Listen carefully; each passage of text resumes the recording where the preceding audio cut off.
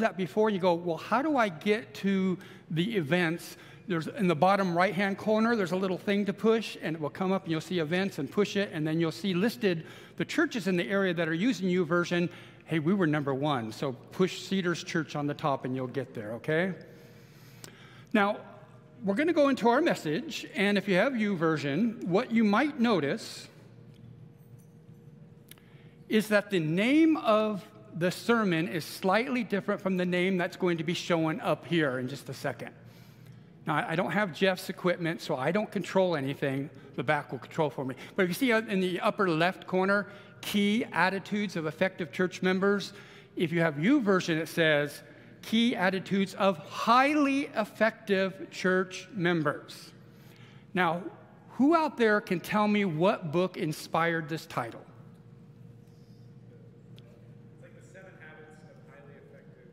Ding, ding, ding, ding. He gets the prize, okay? The seven habits of highly effective people. We, we just finished last month talking about church membership. And so I thought, well, as I looked at this passage, I just replaced people with church members, right? So we, we want to look at the key attitudes of highly effective church members. Now, I want to tell you a little bit about why I picked this verse. Now, at our last elders meeting, Jeff goes, Well, I want one of you elders to speak. There was silence in the room. and being the fool I am, I said, I'll do it. Okay, I've done it before, so I, I can do that. But as I was reflecting on what passage to use, because he basically said, anything you want. Oh, that's a dangerous thing to say to me, anything you want. But I reflected back on something that happened 44 years ago. I was 19 years old at the end of my sophomore year at San Jose Bible College, and I was taking a homiletics class, and that's the class where you learn how to prepare and deliver a sermon. And after a few weeks of talking about how to do it, he passed around a hat, and a literal hat. It was a top hat, in fact, with slips of paper in it, and we all had to draw one. Guess what was on, on the slip of paper? Bible verses. And mine was you, you've got to know this. Mine was 1 Peter 4 7 through 11. And that's why, why I decided to pick it. What's interesting to me is the person I was then is definitely different than the person I'm at, I, I am now, right? A 19 year old sophomore, extremely shy, and a 60 year old man, still kind of shy, but learning how to deal with things as they come up, right? How I see things might be a little different, but the scripture is the same. And I think Peter was sort of in the same boat. Remember, as a disciple around 30 years old, how would you describe Peter? He was kind of what? Shoot first and ask questions later? Stick the foot in the mouth first and then try to talk? You know, he, he was that kind of go get her, but then all of a sudden realized maybe I should have thought through something beforehand. But when you look at 1st and 2nd Peter, written probably when he was maybe a couple years older than I am, from Rome to Asia Minor, where they were experiencing huge persecution, Peter has some great advice to give to them because he's experienced a lot of the grace and glory of Christ Jesus in his life. He's mellowed out after all with all the years, but he's also comes with a, a wisdom that's so important. And I just encourage you, Sometimes 1st and 2nd Peter get overlooked for the, the writings of Paul. There are some great things. In fact, as, as I read through all of 1st and 2nd Peter this week several times, so many verses that were familiar to me were listed right there in 1st and 2nd Peter. Great stuff. Now, as Peter's talking, he does give advice to us as individual Christians, but really, he wants to help the church become effective. He wants to tell us how do we individually come together to make an effective church? So let's look first at 1 Peter chapter 2, verses 4 and 5. It says, I'm going to move this. I don't know if, if, if, Jeff didn't want me to walk over here by his podium, but I'm going to, I'm going to use it. So you can just tell him I moved his thing.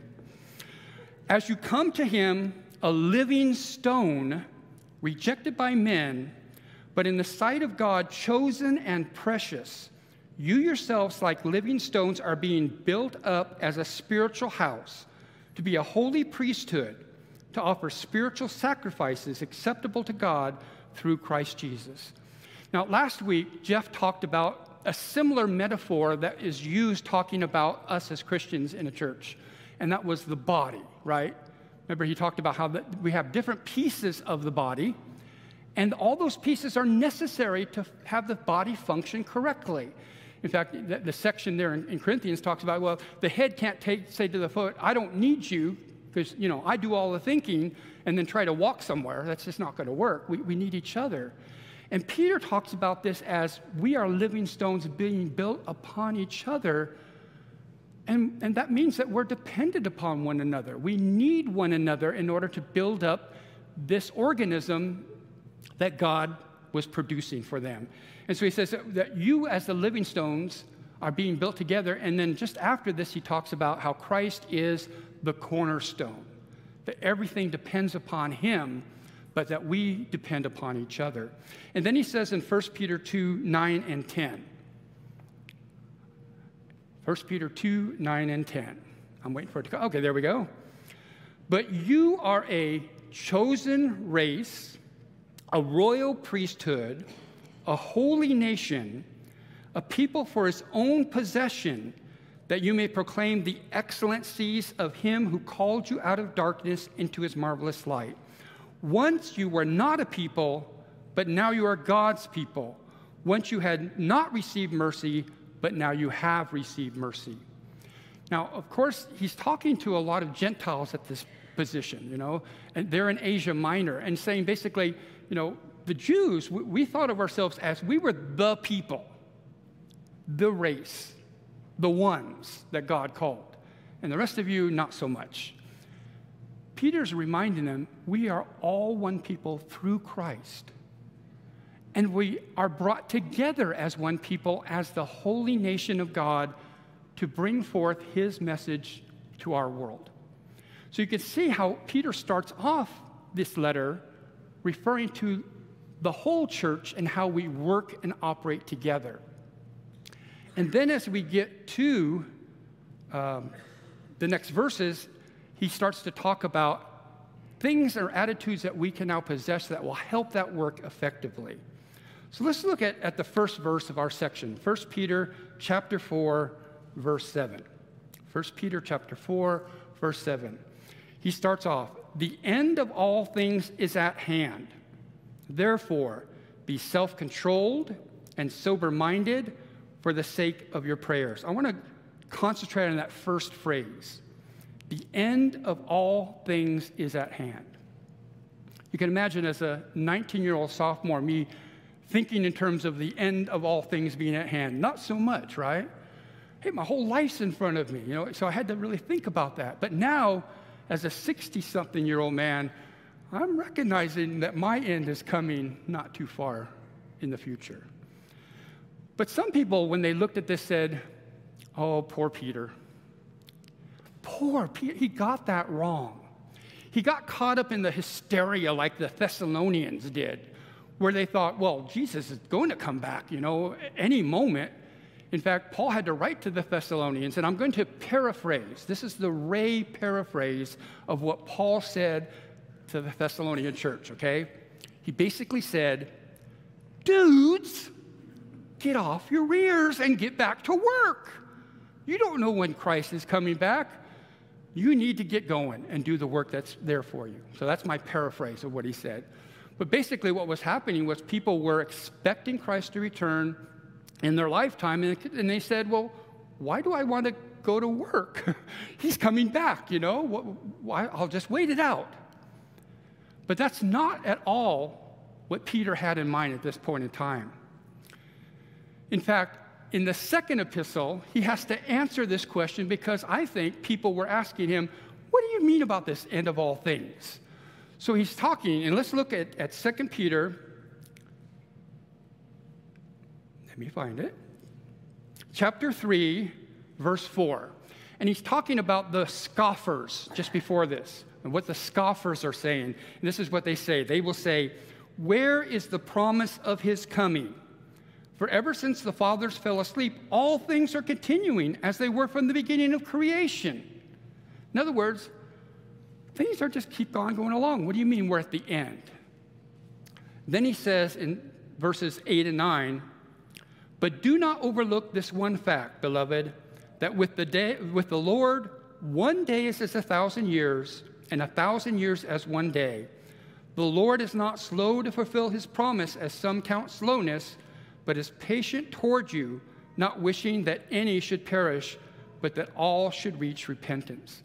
So we do see that Peter wasn't caught up in this hysteria, thinking, well, Christ is coming back immediately in my life, obviously, but was reminding them that no, we have an expectancy to Christ's return, but it's not necessarily immediate. And that what God is doing is doing what he can do to try to save the most. So, so what does he really mean by this? Now, now Peter was a, a student of the word as a, as a good Jew, and so he might have recalled Psalm 39 4, which says, O Lord, make me know my end and what is the measure of my days, lest me know how fleeting I am. James kind of says the same thing in James 4:14. Yet you do not know what tomorrow will bring. What is your life? For you are a mist that appears for a little time and then vanishes. And actually, just a couple chapters before, Peter himself said, All flesh is like grass, and its glory is the flower, but the flower falls and the grass withers. So, for all of us, we recognize, you know, this is true about the end could be coming at any time. And the attitude that we really have is not one of fatalism, saying, well, it's going to come anyway, so it doesn't matter what I do, but it's going to come, and I need to be involved in the work of God now. That I can't wait, put everything off and wait. I need to be about the Lord's business now and making use of every opportunity that's before me. You know, the first time that I really had this happen strong was January 28th, 1986. At that point in time, I was working with another gentleman, and we were sort of co leading a youth group that, that basically built up to over 50 students sometimes we'd go off to, to uh, Lake Tahoe and we had 75 once attend. And, and you can imagine what that's like, trying to herd 75 high school students to do anything that you want them to do. It's, it's a lot of fun. But I was more the teacher, administrator. Burdett, he was the fun guy. He was the activities guy. He had that personality. But that changed on that date, January 28th, 1986. You see, Burdett was an engineer at NASA Ames Space Research Center, and he was on the space shuttle program. And that was the day that the Challenger exploded 76 seconds into its flight. Now, I could see what happened to him and, and how he felt at that point. In fact, later he would tell me that his team had warned their supervisor that the cold may cause a problem. And as they investigated, they found that the physical problem was the O rings that had become so cold and brittle that it, gases were brought out and blew up the external tank.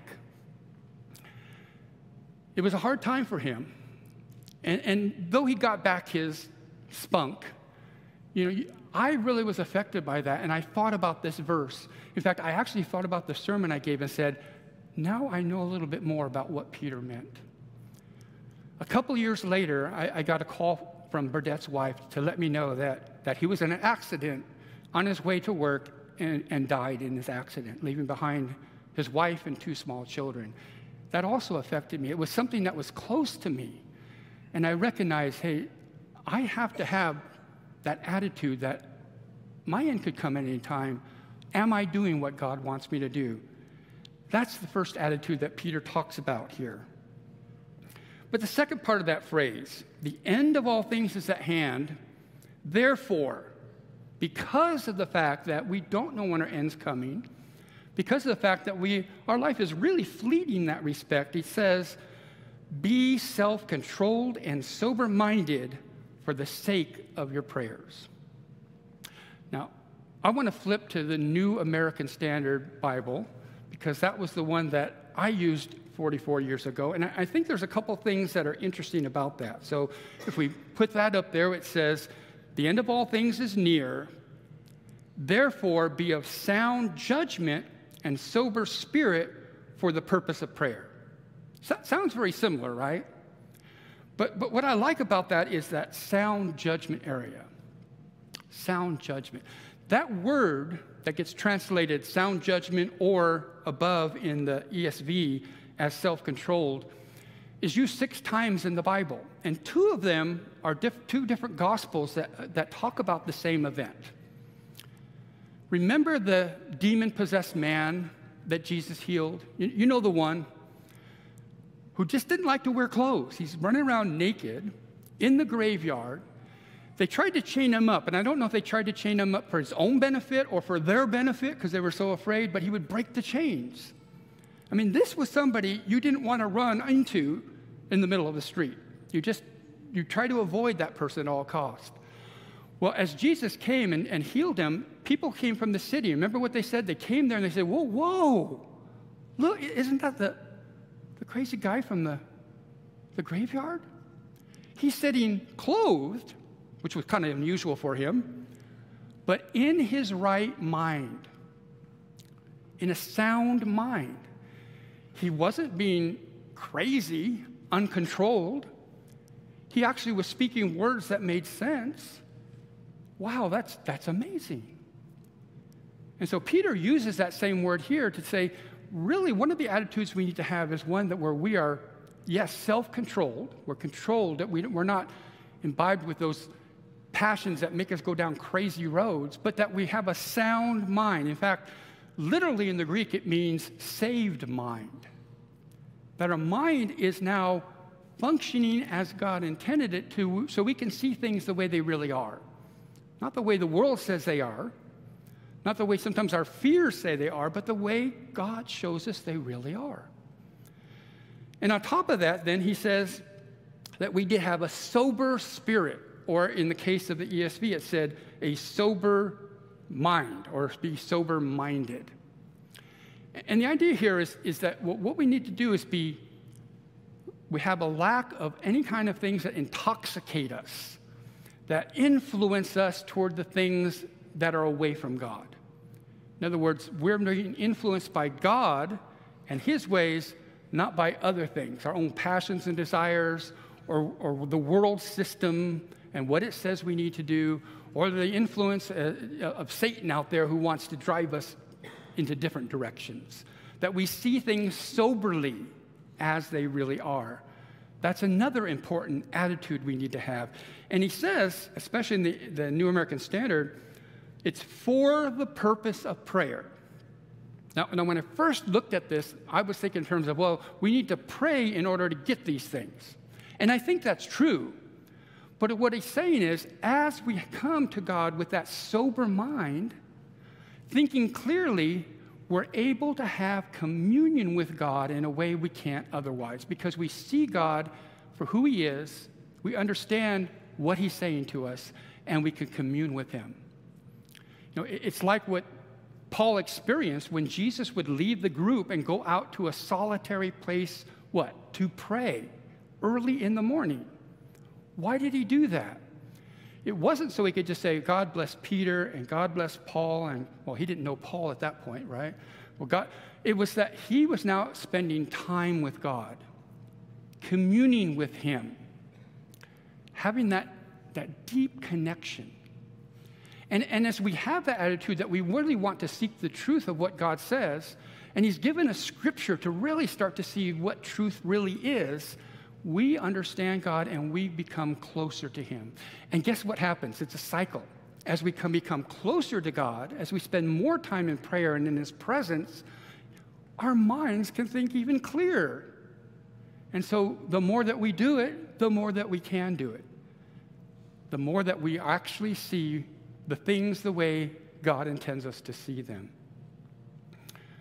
So the next phrase, starting in verses 8 and 9, says, Now that we're right with God and we're communicating with God and we're allowing Him to flow through us, what should we do about all these other people that are sitting in the pews, or not pews, but the chairs around us, right?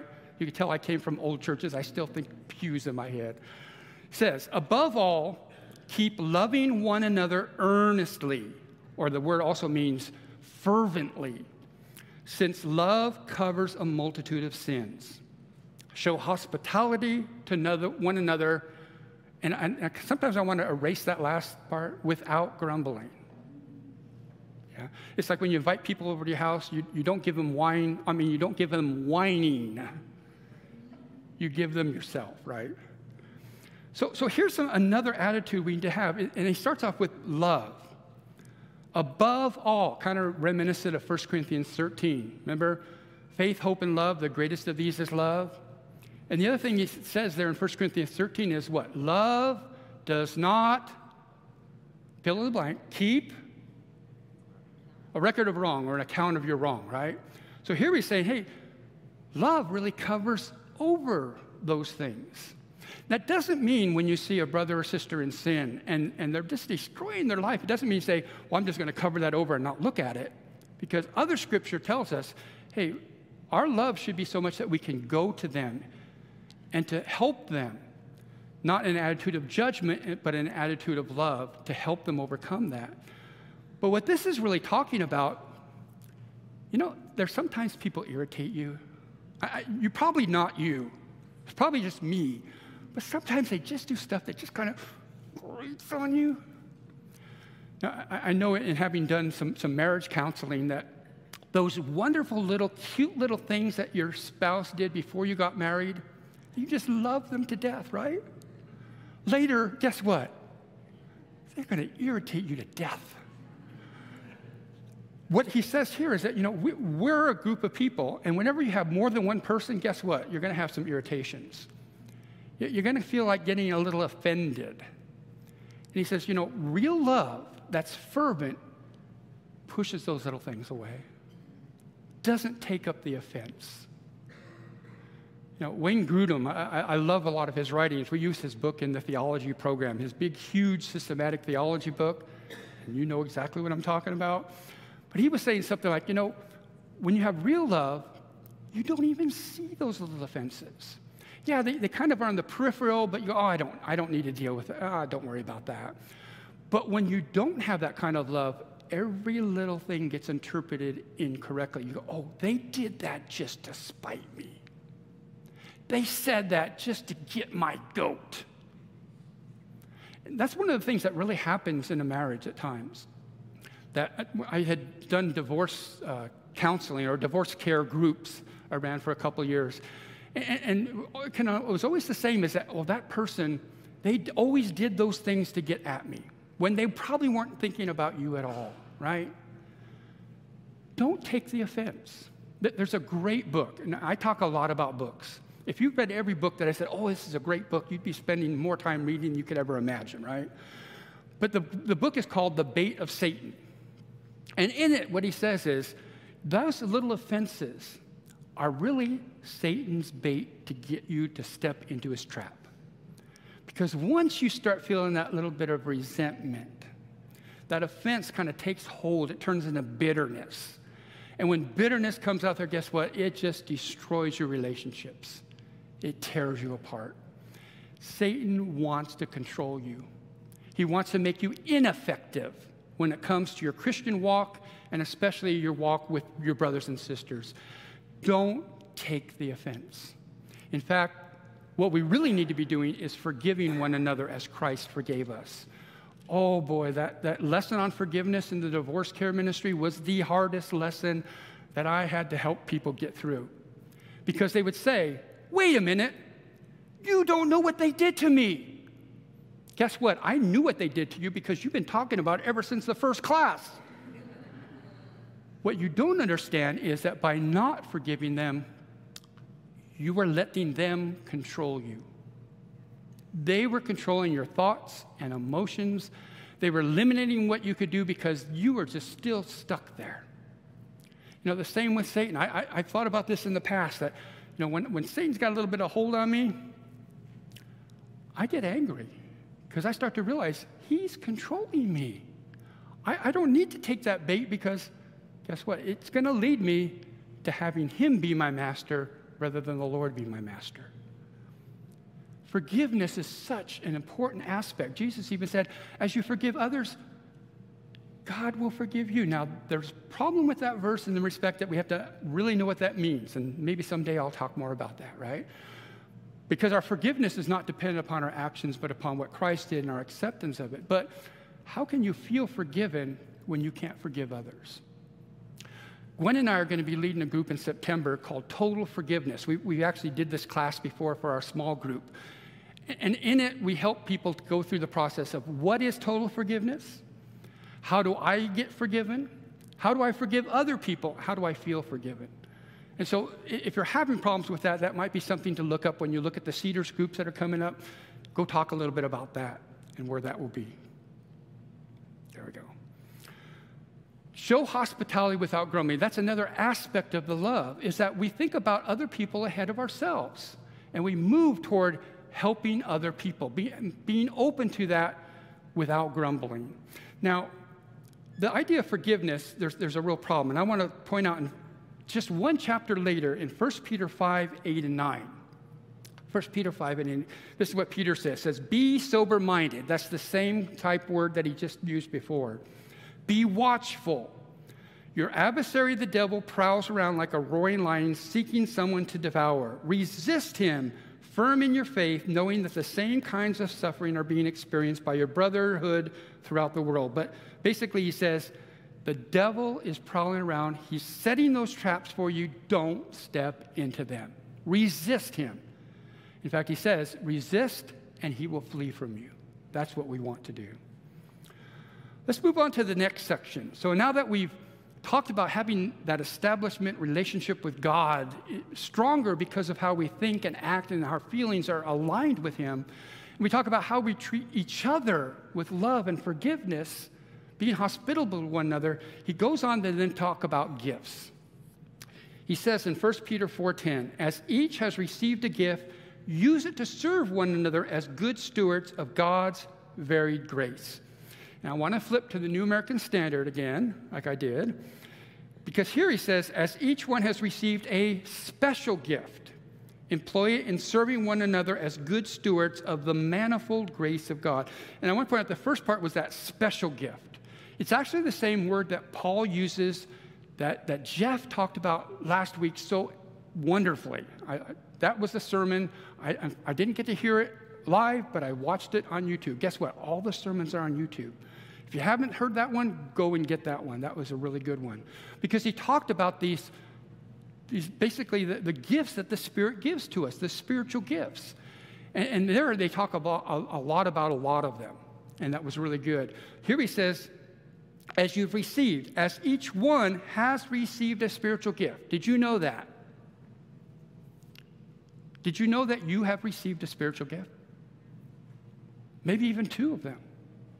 Have you unpacked your spiritual gift? Are you using your spiritual gift? You actually have it, that God has given you certain abilities, pushed you in a certain direction for the sake, as Jeff talked about last week, building up the body. And if you're not doing your part, guess what? There's a hole, there's an emptiness there. So it says, as we've received it, use it to serve one another as good stewards of God's manifold grace of God or varied grace of God. The word manifold, I love that because what it really means out there is that it's a multicolored grace of God. There's so many different pieces of that in different ways. It's just so beautiful. He actually uh, talked about last week a verse that had manifold in, in Ephesians 3:10. It says, "So that through the church, the manifold wisdom of God might be made known to the rulers and authorities in the heavenly places." So in one place it's manifold grace of God, here it's the manifold wisdom of God. And actually in verse 310, it's not talking about somehow the spiritual forces out there, but those who are in authority, and it could be the political authority or it could be the religious authority or whatever, they will see God's wonderful wisdom because the church is acting the way the church should act. See the importance of that? Each one of us is a piece of that. And if we're all functioning as the pieces that we're supposed to be, the church becomes the light for the world, the city set on a hill, as Jesus talked about. He goes on in 1 Peter 4 11 and says, Whoever speaks, as one who speaks oracles of God, whoever serves, as one who serves by the strength that God supplies, in order that in everything God may be glorified through Christ Jesus. To him belong glory and dominion forever and ever. In other words, whatever gift you have, and here he only talks about two of them, even though I think they, they cover a lot of the gifts that are talked about in 1 Corinthians. He says, Do it because God has supplied you with that gift. Now, it's not a magical gift. It's not like the man who, who after the doctor repaired his hands, he, he had hurt them and he's got them all bandaged, and the man says, Doctor, when you remove the bandages, will I be able to play the piano? And the doctor says, Yes, you will. said, Great, because I never could before. It's not like that. I found out actually, God called me to, to teach and, and, and to preach in different avenues. But I'll tell you, the first sermon I preached outside of homiletics class was in Antioch. It wasn't Paul's Antioch, it was Antioch, California. And I had a classmate, that was her main church, her, her home church. And after I gave my sermon, she came up to me. And she said, Ray, that was the most biblical sermon I've ever heard. And right away, the ego in me was going, woo. And then she continued and said, Because you preached in fear and trembling. okay, I got it. I had some work to do.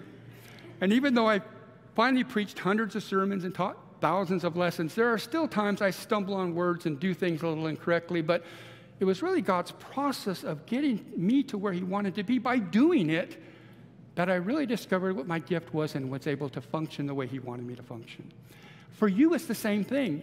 If you don't know what your gift is, you know, you could say, God, I don't know what it is. James tells us, hey, if we, we lack wisdom, ask God who gives all generously and without reproach. And then sometimes it's like, I'm going to step into it. I'm going to try this. And even if it doesn't work kind of the first time, I might give it a second try. I really want to discover where God wants me to be. Now, after four or five or six times, and somebody says, uh, I'm, I'm, Excuse me, maybe it's time for you to try something else. Okay, then it's time for that. But God will show you where you need to be and how you make the body of Christ more effective for His kingdom and what He wants to do. Let's pray. Father, we thank you for your word.